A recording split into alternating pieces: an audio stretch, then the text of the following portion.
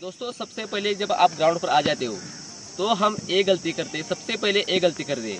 आप रनिंग चालू करते हो। आप कुछ स्ट्रेचिंग नहीं करते, कुछ वार्म एक्सरसाइज नहीं करते और ग्राउंड पर आ जाने के बाद डायरेक्ट रनिंग चालू करते हो। तो दोस्तों, सबसे पहले बहुत बड़ी गलती है।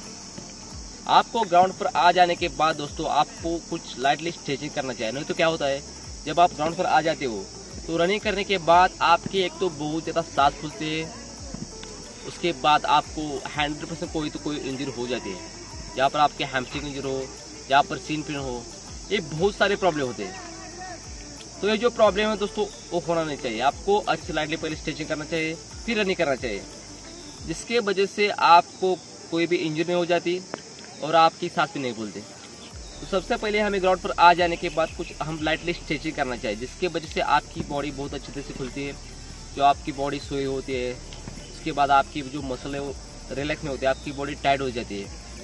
क्योंकि आप पहले दिन अच्छे से प्रैक्टिस करते हो, उसके बाद स्ट्रेचिंग नहीं करते, कुछ नहीं करते।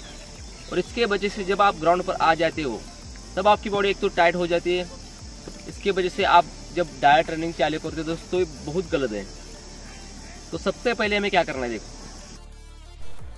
तो जब आप ग्राउंड पर आ जाते हो, दोस्तों, सबसे पहले में क्या करना है, देखो, सबसे पहले आपको लाइटली स्ट्रेचिंग करना चाहिए। ये जो स्ट्रेचिंग एक्सरसाइज है, वो बहुत इंपॉर्टेंट है। क्योंकि आपको इस स्ट्रेचिंग एक्सरसाइज से आपकी बॉडी बहुत अच्छी तरह से खुलती है। जब आपने अगर अगले दिन अच्छे से प्रैक्टिस किया होगा और स्टिचिंग अच्छे से नहीं किया होगा तो सबसे पहले ग्राउंड पर आ जाने के बाद आपको इस तरह से लाइटली स्टिचिंग करना है। अच्छे से दोस्तों एक्सरसाइज देखो किस तरह से मैं एक्सरसाइज कर रहा हूँ। क्योंकि इससे आपकी बॉडी अच्छे से स्ट्रेच हो जाती है, आपका जो पेन है, वो भी दूर हो जाता है। और आप इसके बाद आप अच्छे से रनिंग भी कर सकते हो। दोस्तों एक दर से अच्छे से देख लो मैं किस तरह से कर रहा हूँ। यहाँ पर आपको नी को ऊपर उट, उठाना है उसके बाद पीछे इस तरह से स्टिच करना है।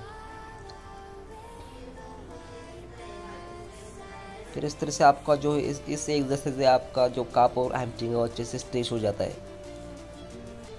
इस तरह से आप लाइटली स्टिचिंग कर सकते हो।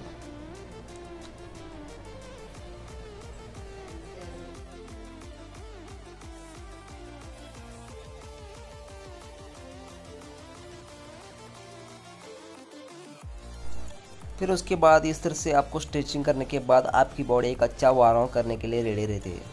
फिर उसके बाद आप लाइटली वार्म कर सकते हो।